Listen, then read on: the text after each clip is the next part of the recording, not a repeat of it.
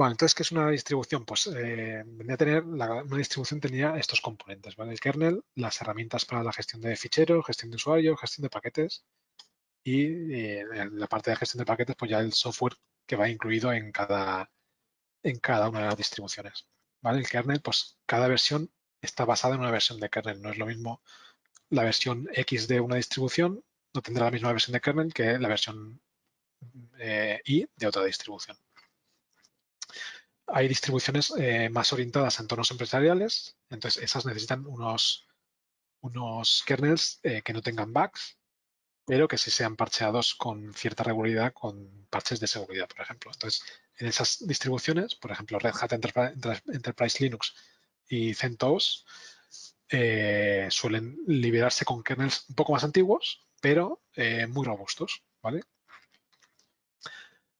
Eh, aunque no incluyan el último kernel, sí que muchas veces eh, incluyen nuevas funcionalidades, ¿vale? Por ejemplo, si libera alguna funcionalidad nueva en la versión 5X del kernel, pues si Red Hat está trabajando, por ejemplo, en la 4X, sí que es capaz de incorporar esas nuevas funcionalidades, ¿vale?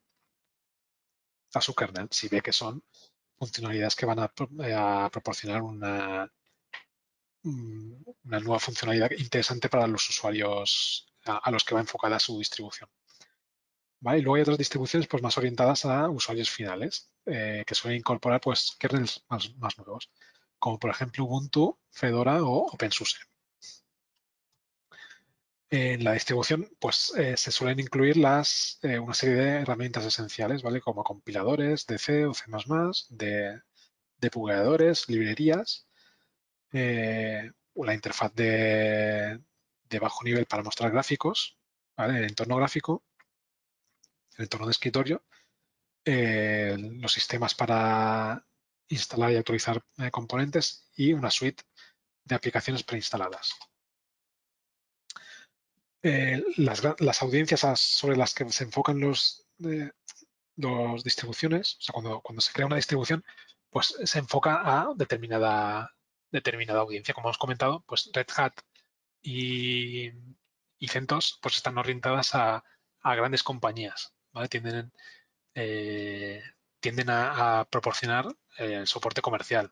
También SUSE Canonical, que es la empresa que está detrás de, Ubuntu, ofrecen también soporte comercial a, sus distribuciones.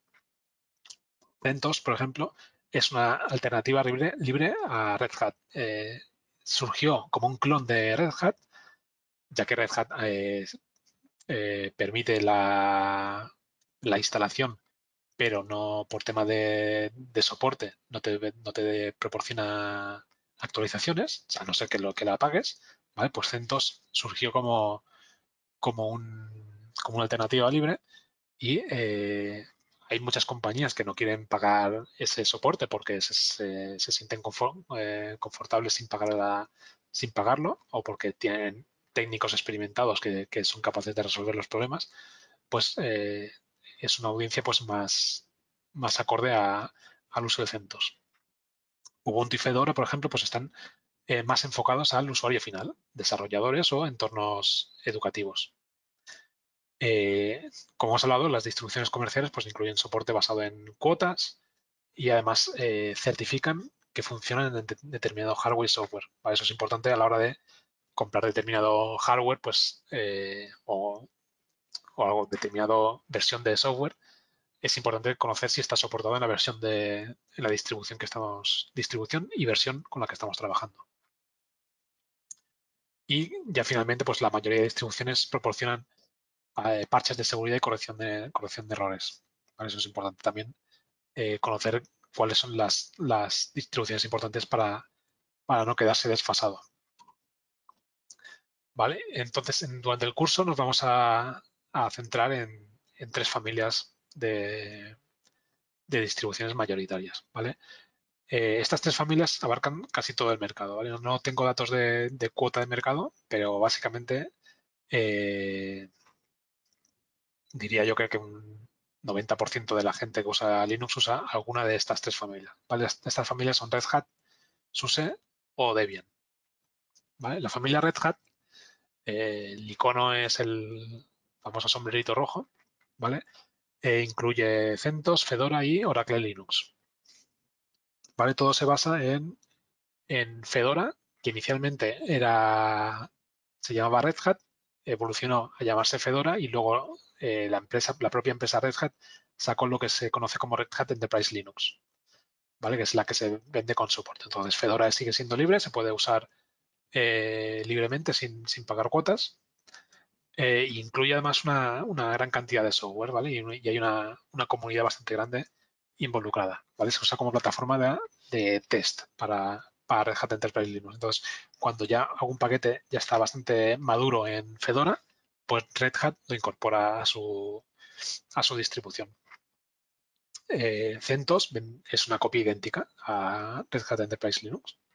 ¿vale? Lo que pasa es que en este caso pues no tenemos ese, ese, ese requerimiento de pagar una licencia para, para obtener soporte y actualizaciones. El ciclo de liberación, cada cuánto salen versiones nuevas, pues es mucho mayor en Red Hat Enterprise Linux y CentOS, ya que están eh, orientadas a, eh, a empresas. ¿vale? El, el ciclo de, liberación puede ser de, de a lo mejor una cada año o año y medio pues se sale una versión, mientras que en Fedora pues se libera una versión nueva cada seis meses. Eh, Red Hat Enterprise Linux usa eh, kernels eh, adaptados y optimizados a servidores, ¿vale? Mientras que Fedora pues está más pensado para el usuario usuario final, usuario equipos de, escritorio, portátiles, etc. Y una de las características importantes es que usan Joom o DNF como gestores de paquetes para instalar, actualizar y eliminar software. Otra de las familias comerciales, ¿vale? Es SUSE, ¿vale? SUSE es otra empresa que está detrás de, la distribución y existe una relación similar entre SUSE y OpenSUSE a la que hay entre Red Hat y Fedora, ¿vale?